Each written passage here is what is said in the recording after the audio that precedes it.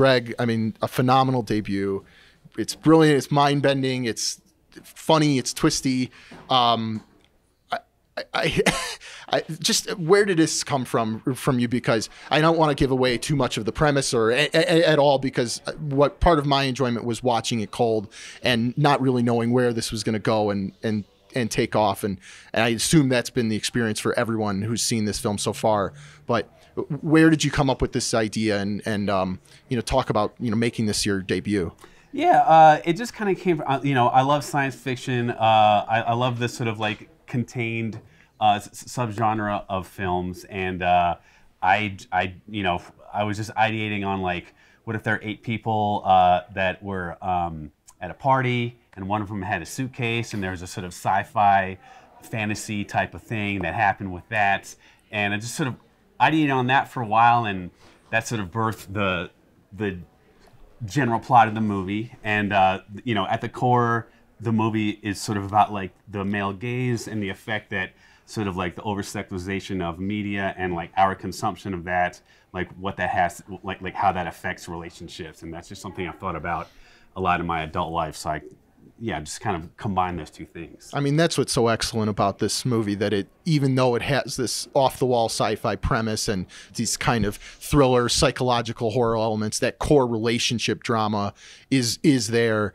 And and James, that's really evident in in your character. I mean uh, how did you know how did you tap into this role and and I mean frankly for both of you this is these there's a lot going on a lot of layers here um, but you know how did how did you guys keep your head from spinning off yeah, man. I mean when, when Greg first sent me the script I was like how is he going to pull this off? It's so it's it's like a Rubik's cube of just complexity. And then I saw his work and it gave me full confidence in his ability. I mean for me this movie is about how much we compare ourselves to everyone else and how we yeah. sometimes the last person we want to be is ourselves and ultimately learning how to fully commit to who we are and and so there's this wonderful emotional depth to to what is really a fun thrill ride of a movie but has immense depth to it as well yeah, and, and, and David, for, for you, like I mean, there again, there's a lot going on in your in your character that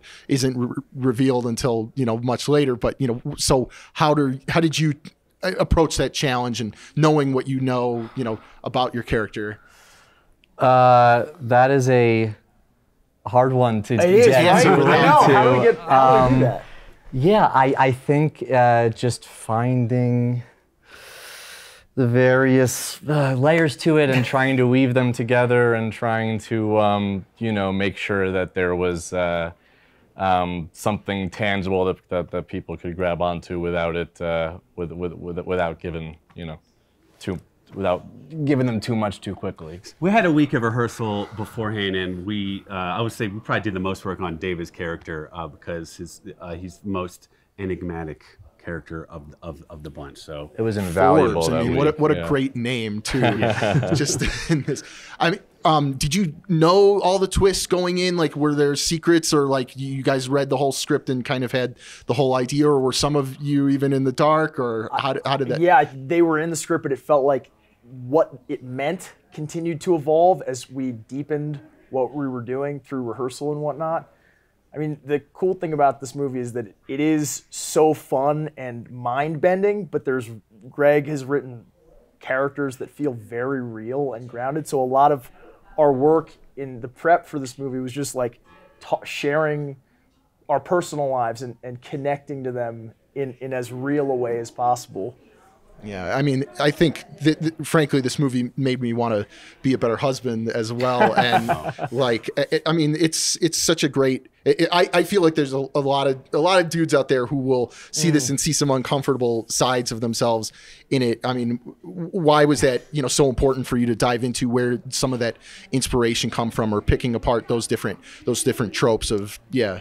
Yeah, I mean, I think I like honestly just going through life and just being in relationships and you know like to be candid, you know, like I, you know, we're I think as men, boys, were introduced to porn at like a very young age, and it's normalized. And if you just look at uh, like a lot of media, like so much media is sexualized from billboards, fashion ads, now on like social media, etc. And it's just sort of like this thing that we don't really think about that much, and like it's sort of considered taboo to to, to talk about. I mean, like porn is a billion dollar industry, so it, it, I've just thought about how it's affected my relationships, and um, how sometimes I've like ignored people for like uh, things that aren't like really real, and um, how I don't want to do that anymore. And so I, you know, I just it's um, something I just thought we could talk about in the movie. and that's only been exacerbated in some way because of the social media influencer culture. I mean, it, yeah, intertwining those. What, what were some of your challenges there?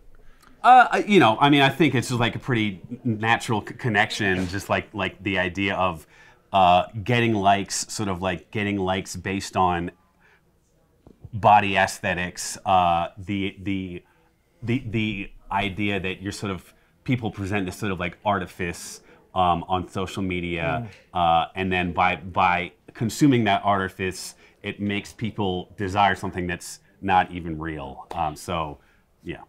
Yeah, I mean, James was there. You know, what, were your challenges playing that type of role? This guy who isn't looks like a nice guy on the surface, but has these, you know, uh, yeah, these issues and is kind of feeble and really can't commit to this relationship. the difficult part of playing the role was not playing it as a character, but looking at the parts of myself that I'm uncomfortable with and that I don't like, and really trying to express those parts myself and admit those parts myself through this story so that it's not just some character. It's going like, I, I look around or I have, you know, problems being in one place, you know, like I'm seeking validation or whatever in the same way this guy is, you know, and, and that's where this got really exciting for me was it it wasn't just like let's play these kooky characters that these are real people and and Greg is unearthing these parts of our these kind of ugly parts of ourselves that we all have and and, and doing that through this great story. Okay. Um, it, Greg, I mean, you your background is kind of like doing marketing materials for for Netflix, and now you've been bought by Netflix. Yeah, you yeah, yeah. have the biggest sale of the festival so far. Um, what does it mean to come for full circle, and how, how did that work prepare you for for this feature? Uh, well, the full circle. I mean, we, we literally just found out, so that it, uh, I haven't really processed it, but I mean, it's awesome. Um, and you know, like I, I've I, I have a lot of love for Netflix because they've essentially paid for my existence for like the past six years. Uh, um, but yeah, I mean, you know, I, like directing short form stuff, um, especially sort of like higher concept stuff for these Netflix promos. I mean, it's it's fantastic. I mean, directing anything is fantastic practice. You know, like shooting anything is is just you know great learning. And I, I- think like on the on the Netflix stuff, it's just you know learning how to work with people, sort of uh, learning how to sort of uh, mediate other people's visions and and uh, you know into my own. But I also have handled most of the post production on all the Netflix stuff. Um, I've sort of been pitching myself as a director who can edit and handle all the all the visual effects, and that has helped me in um, you know in in coming up with uh, efficient ways to execute a bunch of the stuff in this film. Okay. And I mean, any other things that you want to leave people with, like, just because I think it's, I, I had an idea that this was going to be interesting, a, a, a mind bending film, but once I really sat down and really understood where this was going, I, I really had no, I was not prepared as as much as it is. So, what, what do you guys want to leave for for audiences? And especially knowing it's going to streaming where it's going to have a humongous audience I, i'm sure you want to have it in a theater and, and as well to have that collective experience I mean, I'd say like get a bunch of friends Yes. together who know as little about it as possible. Turn off your phones and lock in and prepare for a really, really fun time.